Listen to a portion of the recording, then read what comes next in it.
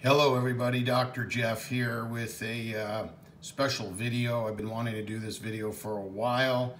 Uh, Champion DJK celebrated his 200th episode yesterday and this is kind of uh, an homage to him because I know he loves Porsche.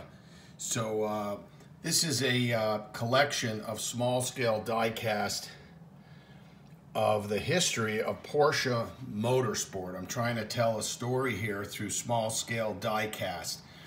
Those of you who understand uh, die-cast know it's not difficult to, uh, or it actually is difficult to put together a collection of small scale die-cast. Uh, there are great collections on YouTube of Porsche Motorsport uh, in the larger scales, 143rd, 124, particularly uh, Jordan Bomber up in Toronto, Canada, has a magnificent collection. So this is my attempt at putting together a uh, Porsche Motorsport uh, collection to tell a history. And we start off right here uh, with the 550 and we go into the 356. Um, and in the small scale, uh, there's a gap here of about uh, between this vehicle and this vehicle is probably about nine years. And there are uh, other vehicles that are just not available at small scale. And of course, I define small scale as any scale of die-cast smaller than 143rd scale. So this collection in front of us is made up of probably four or five different scales. I'm thinking from true 164th, probably up to 155th.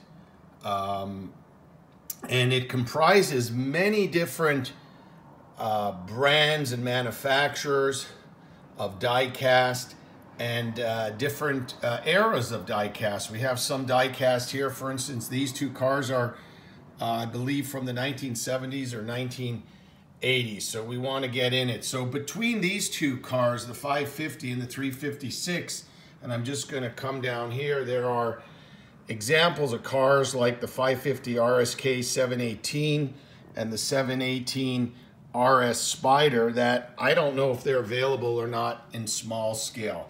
Uh, if Champion DJ sees this and you know of any other um, small scale die cast, let me know. So I'm going to take you through this collection like that. Um, there is a 904 and then we go into our 906 Carrera 6 and a couple more Carrera 6s, different manufacturers here. Um, and uh, 907.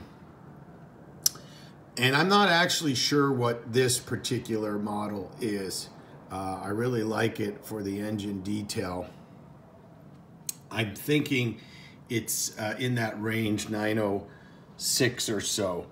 Coming down here, uh, your Matchbox 910, another 910, and then we get into that kind of prototypical uh, Porsche 917.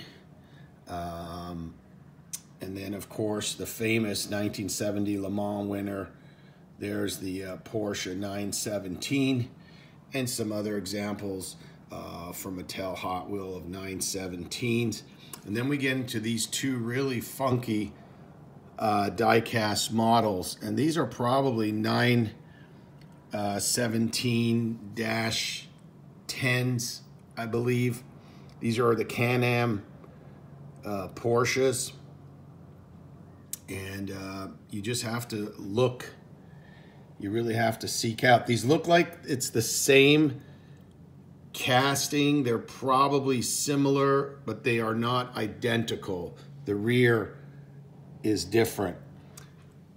Coming down here, an example of a 914, and then um, the recent mainline 917s. Um, this is one that I really, really think is quite special.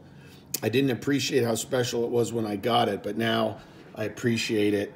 It's a Tomica pocket car, and that's the Can-Am, uh, also 917 dash, I'm thinking 30. I apologize, I'm not uh, up to date on all the numbers um, for this particular video.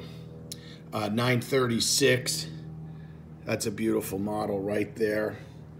Um, this is also a 936 from uh, a different manufacturer, quite old. Sorry for jumping around. Then we get into our 935s, our Hot Wheel. And uh, I think this is a special Hot Wheel right there. I think that was only available in Canada. Those are 935s. Uh, 956, I believe. And here's the Rothman, the Le Mans winner.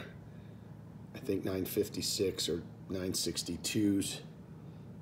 And other examples of Hot Wheel product coming down.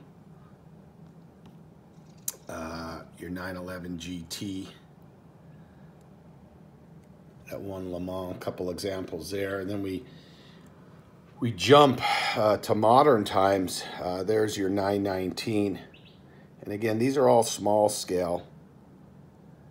All small scale. I really like these. And there's your uh, your 718 Spider. The uh, sorry, 9 918 Spider, and that was uh, put together. My daughter and John Lambert, and he sent it to me to Jeff. Isn't collecting rad? That was really nice of my daughter and John to do so. And I snuck in this particular model, which is a basic mainline 934.5 Porsche. And uh, on a personal note, it's probably one of my favorite uh, models, and all for 94 cents. So sometimes the model doesn't have to be real expensive. There's a rally car, a couple other. These are really neat models. Again, different makes and models. And there's Magnus Walker 277. And then we come up here and we see again the 50th anniversary of Porsche and we have our 550 and our 930 and of course uh, the iconic Gulf livery 917. I'm looking forward to uh, Hot Wheels coming out with the uh, 959 rally car and I'd like to pick up the other 356 that's currently out now, the yellow with the 81, uh, kind of neat. And then, um, as a side note, we just saw this online, and um, uh, I guess this is just a mock-up. I'm not sure if this is going to exist, but boy, that would be really cool to have that that transporter. So that's my collection here of Porsche, and uh, it's Sunday today, uh, the day after Champion DJK's 200th episode, and this is kind of uh, uh, dedicated to him because I know he loves Porsche, and I always wanted to get his feedback on what he thinks of this collection, and more importantly, if he knows of other small-scale diecasts that can be added to this. So this is my track. This is uh, Porsche Motorsport on the track, and over here is a collection of the Porsche Street. And that's a pretty cool one, starting off that collection with the 911 GT1 Street version, but we're going to leave that for another time. So that's about it.